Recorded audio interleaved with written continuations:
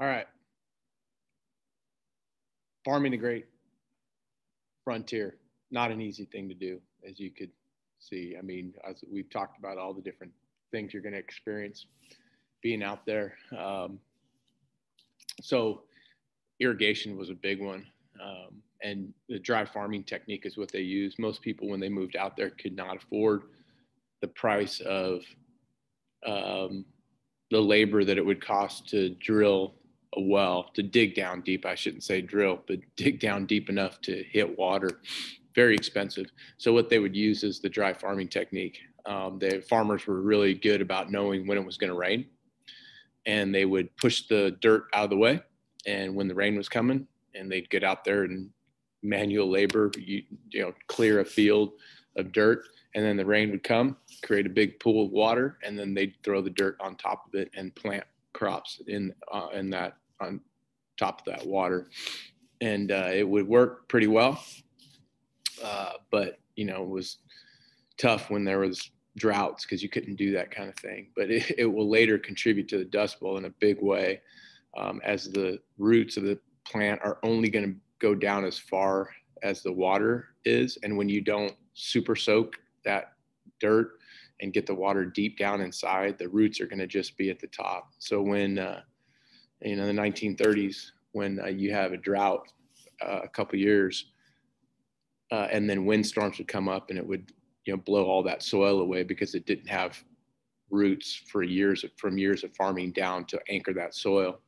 So nowadays in that area, um, obviously they have wells and they there's a tremendous amount of water underneath the plains that we didn't even know about at this point.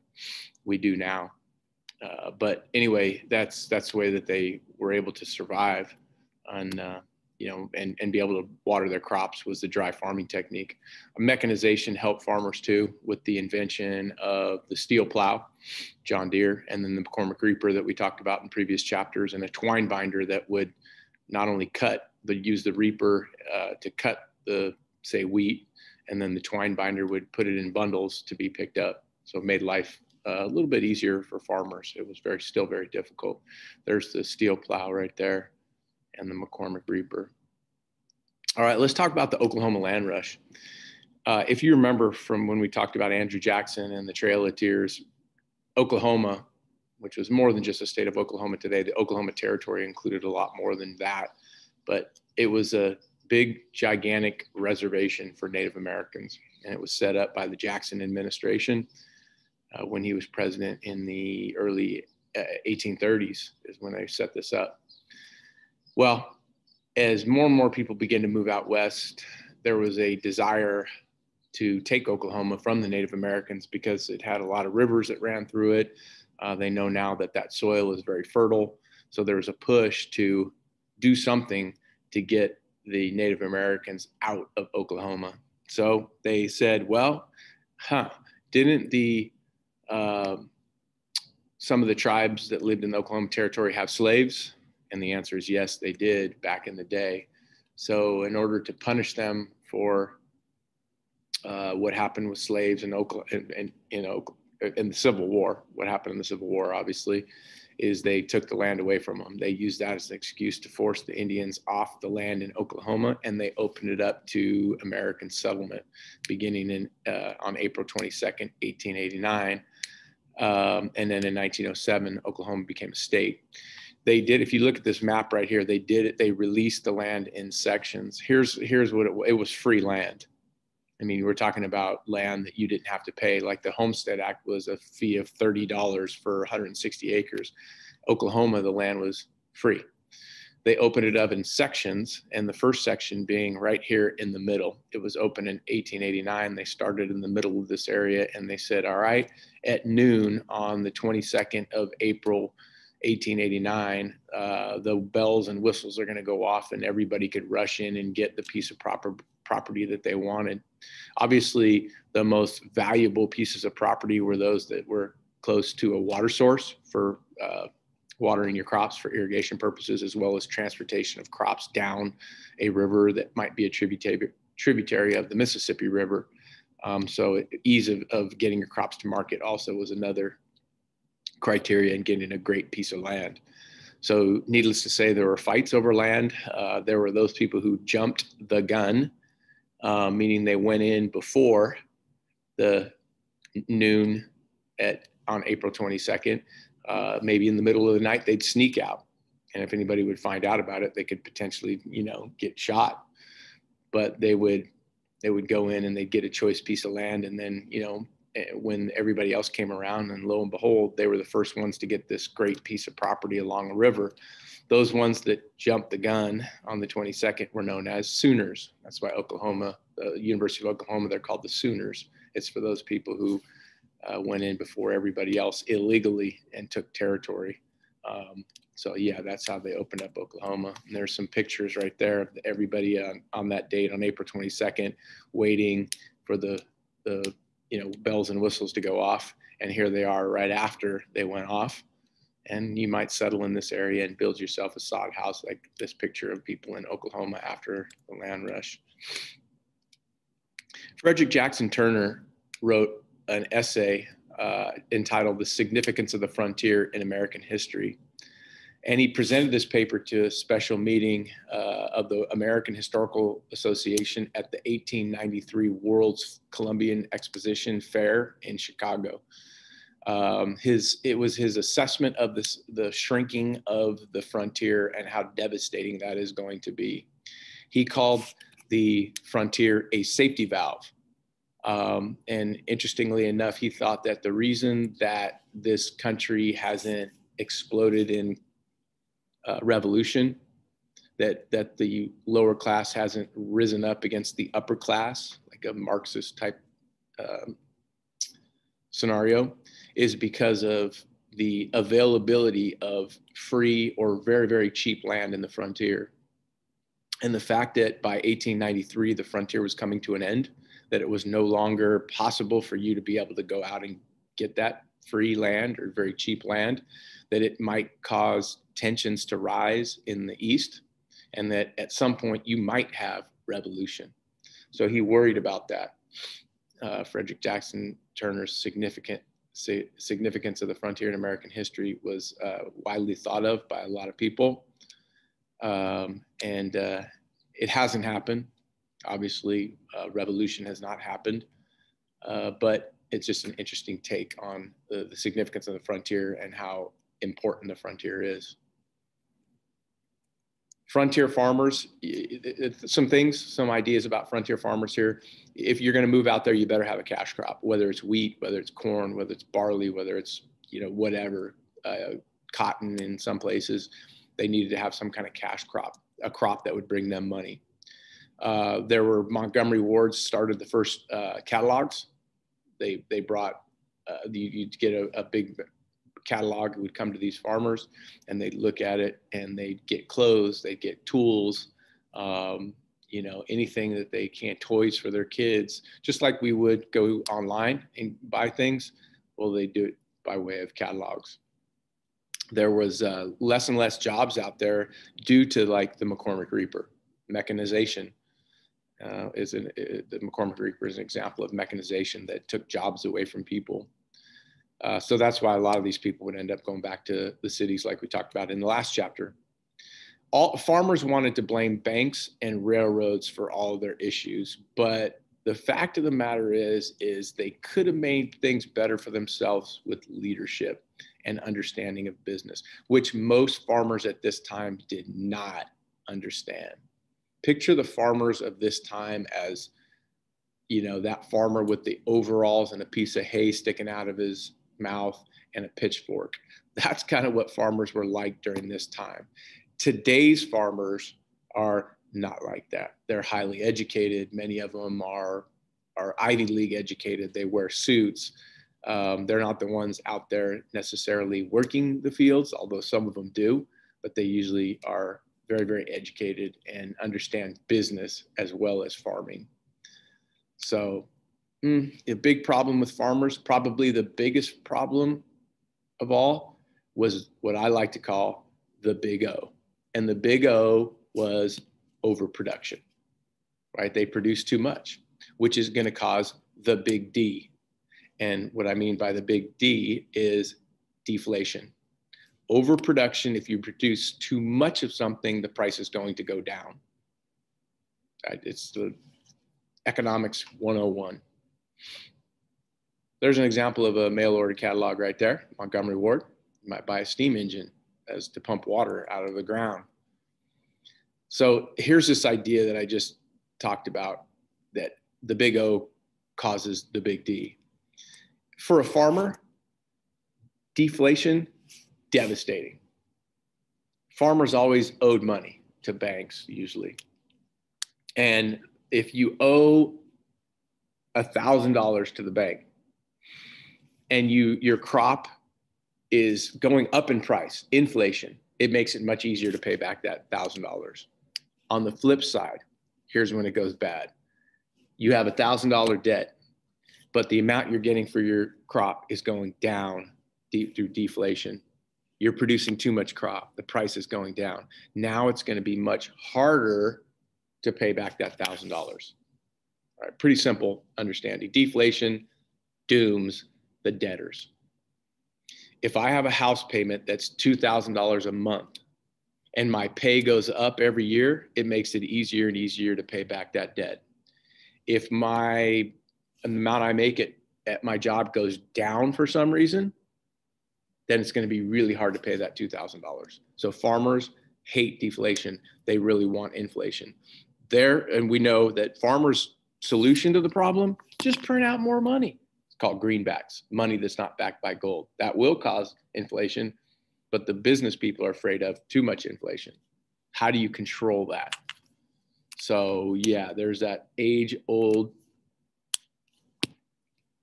argument between farmers and business people to print out greenbacks or not to print out greenbacks. We all know that the solution is free and unlimited coins of silver. You had uh, organizations like, and I've mentioned them before, Granges, Grange meetings, the National Grange of the Patrons of Husbandry. Patrons of Husbandry were an example of, of a, a fraternal organization, brotherly, social, educational dances, picnics, informally getting together, talking about how the farmers are getting screwed. That's level one, right? They attempted to do some things, but it just wasn't formal enough. The next step would be to form alliances with other farmers. Like, let's say all the farmers in Salinas decided that they were going to cut their lettuce production by 10% so that the price would go up at the market Right? That's an informal agreement made, an alliance made between farmers. What's to say that one farmer isn't going to say, ah, all those 15 farmers over there are going to cut their production. The price is going to go down. So I'm just going to raise my production a little bit, see if I can make a little bit more money than they are. Very selfish, but there's no laws against it. It's just an alliance, it's an agreement. You know, but what they really need is true leadership. And in the last chapter, we talked about the populist party that when you have a party that represents farmers that's nationwide, then you're talking about getting some leadership there. And you're talking about leadership. So this guy on the left right here represents what the farmer was back then, right? But he, this this slide right here sums up a lot of things with farmers. The biggest problem for farmers, the big D, deflation. The cause of the big D is the big O, overproduction. They're producing too much. I mean, look at it. They've got mechanization. The McCormick Reaper, it's great, but it allows you to produce a lot more and harvest a lot more. I mean, the steel plow allows you to plow the fields faster so you can plant more and faster. Fertilization makes it grow faster and, and more efficiently. So they love all these tools, but it's causing overproduction. The farmer solution, greenbacks or compromise silver. The real solution, leadership. You've got to inform these farmers that they have got to cut their production. But farmers back then looked like this guy. They didn't look like today's farmers in a suit with a and highly educated. All right, let's shift gears a little bit and talk. We're still in the Gilded Age. So it's a time of many, many strikes. And one of the biggest and most well known strikes in American history was the Pullman strike, located in Chicago. It was led by American Railway Union leader Eugene V. Debs. Eugene V. Debs led the union and and convinced the workers at, at the Pullman uh, yard, where it was a company town, I'll show you what I mean by that in a minute here, to go on strike. and uh, you know they were their wages were cut, and they were being paid in company script, and they couldn't use that company script outside of the Pullman organization. They could only they lived on the job site. It was a company town. And here, this is when you, again another another example in history of government siding with the owners of the business as opposed to the workers. The Attorney General of the United States, Richard Olney, felt that the strikers were interfering with the transit of United States mail to and from Chicago. So what happens? They put Eugene V. Debs in jail, where he immersed himself in socialist doctrine and will run for president on three different occasions as a socialist candidate, by the way, side note. Here's what the company town looked like. Everybody lived on the premises. They would go to work here, and you have the church, the stable, the schools for the kids, the playgrounds, the athletic courses. They were required to live on the premises. They were paid in company script. They would go to the company store here at the arcade and they would buy their clothes and their food and, and whatnot with the company script. Now, if you wanted to go off the premises, your money was no good. So it was a tough, tough situation for those people at in uh, at Pullman. President Grover Cleveland, we know he's the only two the president to win two non-consecutive terms. That Grover Cleveland said, and I quote this directly: "If it takes the entire Army and Navy to deliver a postcard in Chicago, that card will be delivered." And he sent the troops in, and here's a picture of them, uh, troops in to, to stop the, the uh, strike from happening. And there they are around the arcade. I showed you the picture of where the arcade was. There it is. They're there to stop the strike. So Grover Cleveland has a distinction of being uh, a president to on two different occasions at the Homestead Steel Strike and the Pullman Strike to send in the troops on the striking workers. So the common man hated that it, it's government siding with big business. Okay, once again, um, I'm, I'm going to shift gears again, and I'm going to talk about the tariff because it, it comes into play big time in the next election here in 1896. Um, so again, let me just emphasize that Democrats want to decrease the tariff, Republicans want to raise the tariff. Republicans want to raise the protective tariff to protect infant industries, and big business loves that. Democrats want to lower the tariff to get money in people's hands, and businesses hate that.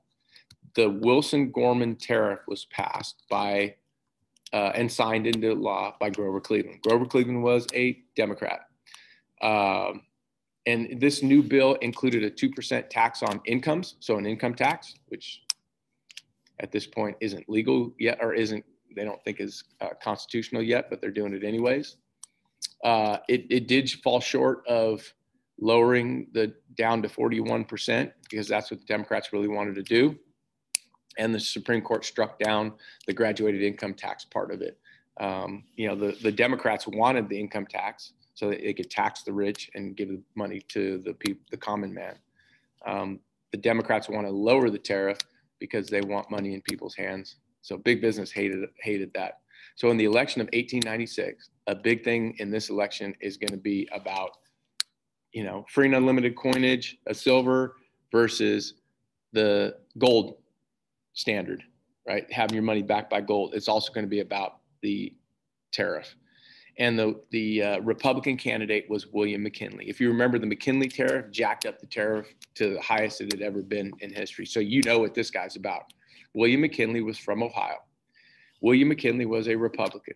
William McKinley was promoted by big business. Big business wanted this guy to win because he was going to jack up the tariff as high as he could. And he was also about solid money and the gold standard. He said that all money needs to be backed by gold or else you can't make more money. He's deathly afraid of inflation. On the flip side, you have the Democrat candidate who was formerly the populist candidate. He was a tremendous speaker. His name was William Jennings Bryan, and his nickname was the Boy Orator of the Platte. The Platte is, he's from Nebraska. The a river that runs through Nebraska is called the Platte River. So he was such a great speaker, and he was speaking for the populace. And representative from the Democrats heard him speak and said, That's our guy he could control a crowd. He was a great, great speaker, and he didn't even need microphones or anything like that. Loud voice, young, and they said, "Here's our guy." Farmers are, are loving that. The populist party, eh, they're gonna they're they're gonna be upset because they lost their candidate, but William Jennings Bryan is going to represent farmers. He was a farmer himself, and he's all about free and unlimited coins of silver. And he, he delivered a tremendous speech in Chicago that's well known in history, where it's called his Cross of Gold speech, where he said, Do not crucify mankind upon a cross of gold. Do not crucify mankind upon a cross of gold. So William Jennings Bryan is saying the gold standard is way too restrictive. We need to interject money into the economy so that the price of goods will go up. Deflation is killing us. Well, so that was his big thing. And, uh, you know, that was it, the, the, the deal is, though, that William McKinley was backed by big business. And here's an example of a guy right here, Mark Hanna, who was the owner of a company who supported eh, who supported McKinley, and he called himself proudly a president maker because he's the one that promoted McKinley and he's going to be the one that really gets him elected. So big business and William McKinley are going to go hand in hand for sure. This thing was about gold or silver. If you were wearing a gold bug, you were a supporter of William McKinley. If you wore a silver bug, you were a supporter of William Jennings Bryan. It's the way it was at this time. Um, couple, couple, here's William Jennings Bryan right here. This political cartoon depicts the theft of the Democratic Party by the agrarian left during the presidential election of 1896. The Democrats are pretty upset by the fact that the farmers have taken over their party. Uh, and says here, conservative Democrat Grover Cleveland pursues his Democrat donkey as a policeman, right? Grover Cleveland right there. He feels like he's being, the presidency is being stolen from him. Uh, he wanted to run again, but the party said, nope, we're going with this young guy who's a great speaker. Uh, campaigning, I mean, $16 million was given to McKinley to campaign with. Uh, William James Bryan had $1 million. And, you know, obviously the money talks and they were able to campaign for McKinley and McKinley gained a lot of votes. And because of the amount of money that was thrown his way by big business, William McKinley is going to win this election. And there you have it right there. You can see um, the outcome. You have the electoral vote count 61% goes to uh, McKinley and 39% goes to Bryan. And, you know, when in the uh, popular votes, it's pretty close, right? 51% to 47%. So the new president of the United States, 1896, uh, is Republican William McKinley. Uh, the results of this election, McKinley won decisively, getting 270 electoral votes, mostly from the East and Upper Midwest, as opposed to Bryan's 176, mostly from the South and the West, farm states. Victory for big business, and it was a victory for big cities. Right, big business is celebrating. Big cities up in the north, like New York and Philadelphia and Boston, are celebrating. And here, political cartoon, uh, confirm the nation's commitment to the gold standard a victory for the forces of conservatism. So gold triumphs over silver in the election of 1896. Important that you understand that. Now, during this time, the Gilded Age is going to come to an end. And, you know, some things are going to help McKinley out in that inflation kind of naturally happened. Um, you had the things got better after the Depression of 1893. Um, you know, so things happened. There was gold found in different places that interjected more money into the economy, and generally speaking, the um, the economy got better. Now I'm going to talk in class about uh, the allegory that was the Wizard of Oz and the Gilded Age.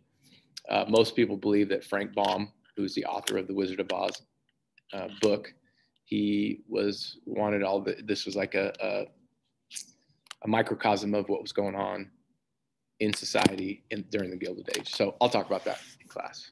And that's the end of chapter 26.